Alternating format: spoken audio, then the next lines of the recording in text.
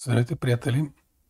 От днес официално, то беше започнало в миналите дни, но искам да обявя една промяна в формата на този канал, а именно клипчета ще бъдат по-кратки, доста по-кратки и по-нарядко. Може би няма да са всеки ден. Ще се опитам да са всеки ден, но не мога да гарантирам. Но най-важното е, че ще са по-кратки и, и ще казват само по-набързо, така в по-телеграфен стил, най-важното, което имам да ви кажа. Тоест малко ще намалее задълбочената аналитична част. Причината за това е претоварване. Просто аз не мога да променя сам света и сам да оправя всичко. И се налага така повече време да си почивам. Ще пострадат и други дейности, с които се занимавам Например, лабораторията за изкуствен интелект, която е една от най-доходните дейности, с които се занимавам. Знаете, че програмирането в момента е доста така благодатна дейност, но се налага и там да направим промени. Това, което няма да пострада, да пострада са книгите.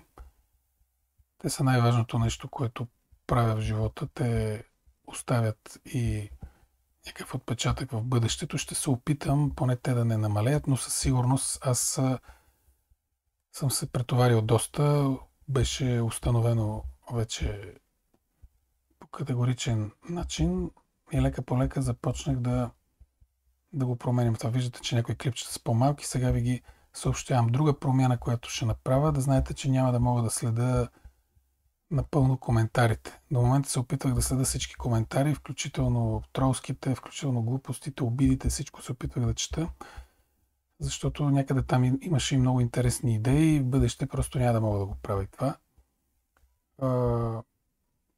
Ще чета един от 10, един от 100 коментара.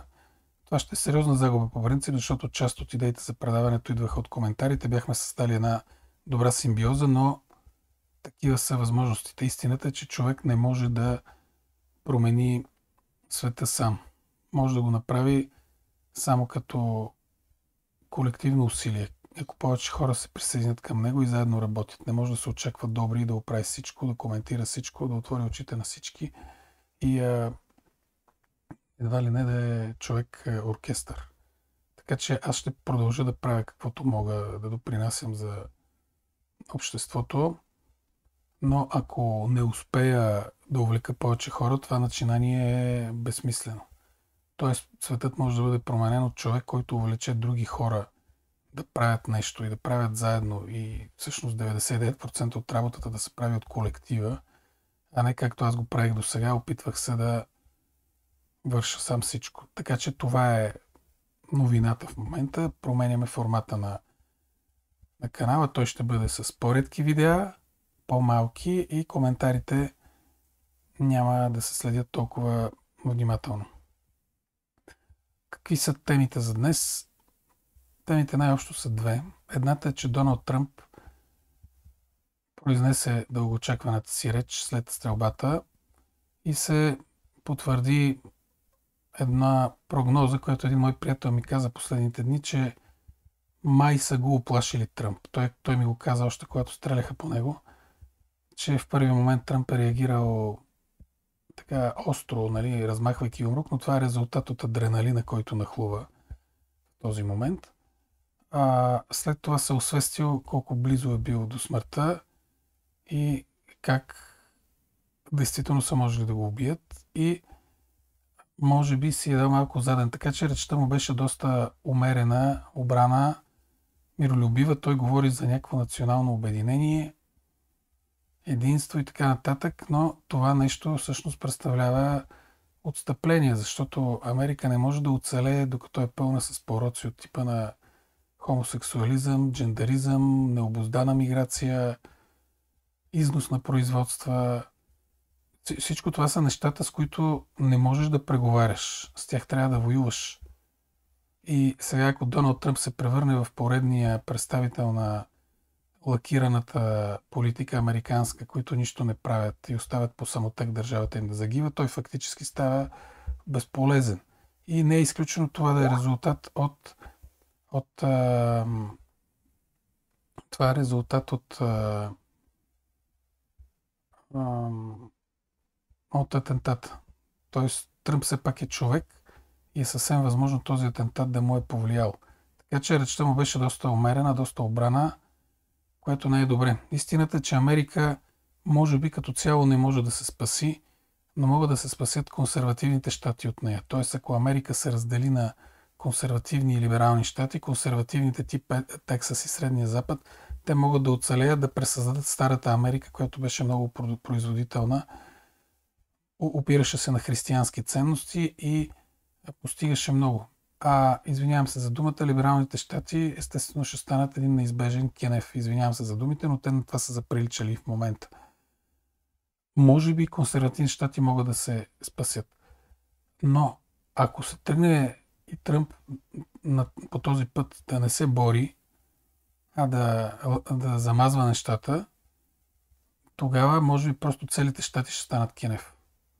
Това е истината и новината от тази реч а, никак не е добра. Това е едната тема, по която исках да споделя мислите си. Другата е, мисля, че трябва да започнем всеки ден да говорим за чудовищното престъпление, което се извършва спрямо украинския народ, а именно принудителното му превръщане във войници, във война, която той не иска да води. Това е едно огромно позорище, огромен срам и ние плащаме за това. Най-добре охраняваната граница в света в момента е украинско-европейската граница. Там има повече войски от между Северна и Южна Корея. Дебне се да не напусне никой, който иска да избяга, го убиват. Това е престъпление. Да принуждаваш хората принудително да участват във война.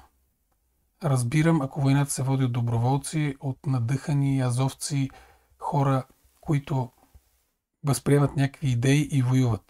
Но принудително да вкарваш хора в армията и да ги пращаш или на смърт, или на усъкътяване, или да бъдат убити, опитвайки се да бягат през границата, това е престъпление и цивилизована така наречена Европа плаща за всичко това. Ние осигуряваме оръжията, ние си затваряме очите пред тези практики на украинския режим. И мисля, че трябва да почнем в Европа, докато все още имаме някакви остатъци от демокрация, да поставяме този въпрос. Какво става с украинските хора, които не искат да воюват? Трябва да знаете, че всеки народ има право да воюва, но има право и да не воюва. Да, не е героично, може да изглежда позорно, но народът има право на този избор. Той има право да се откаже включително от съществуването на собствената си държава, за да се запази поне като жив като народ. Тоест, украинският народ има право да каже, абе, нека да ни окупират руснаците, просто мир да има, да си гледаме децата, да ни е спокойно. И той и не може да бъде принуждаван по никакъв начин да, да се бори с това. Разбира се, ако има достатъчно украинци, които искат да се борят, ако има достатъчно доброволци от други държави, които искат да се борят, нека да ходят. Нали? Но, но принудителното въвличане на хора във война, това е, това е практика на, как да ви кажа, в, в Африка се случва това. Там племенните вождове мобилизират още децата, още от 10-12 годишни, дават им калашник и ги пращат да умират. Това са такива дивашки начини за водене на война против желанието на народа. И отново ще кажа, народа има право на избора да бъде поробен. И ако иска това, глас народен, глас Божи. И аз мисля, че украинците в случая по-скоро биха предпочели това нов, нов живот под руско влияние, отколкото да ги избият всичките. Още повече, че много украинци се приемат за твърде близки с руснаците и не разбират смисъла на тази война. И това нещо принудително да го вкарваш в в конфликт, това е престъпление. И мисля, призовавам всички да говорят по този въпрос. Влиятелници, журналисти, медии, започваме да повдигаме този въпрос. До кога ще заставяме украинците принудително да воюват? И срамното е, че никой от нас не иска да воюва. Виждате какво напрежение има при всеки слух, че ще се пращат войски. Дори най-големите неолиберали и украинофили не ходят да се бият в Украина, не се записват. Имаме един, който се е записал. Глиги, сваля му шапка. Единственият достоен от своята каста човек. Да, приема една теза и ходи да се бие. Нали? Но ние самите не искаме да воюваме в Украина, В същото време наливаме огромни количества оръжие и пари и принуждаваме други хора да воюват, без те да искат. И този въпрос трябва да се повдигне. Това е коментар за днес. Благодаря за вниманието. Надявам се новия формат на видеята да ви бъде поне частично полезен.